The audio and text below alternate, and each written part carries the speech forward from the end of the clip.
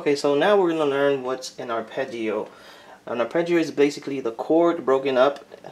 It's like a scale that you go from this C to the, the third C up here. So you're gonna go an octave, you're gonna do a double octave on the arpeggio. Um, so this is how you do it. This is what it's supposed to sound like.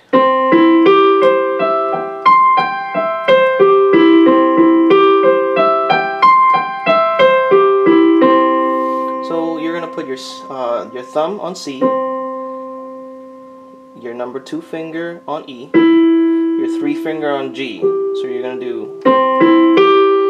Okay, once you do that, then you're gonna take your thumb and jump onto this C, and pretty much do the same thing, but you're gonna finish it off with the five finger. So you're gonna do one, two, three, one,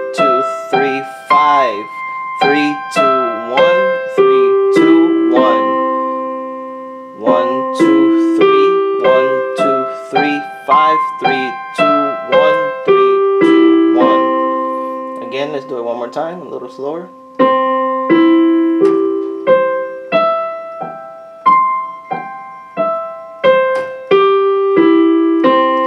And that is the arpeggio for C.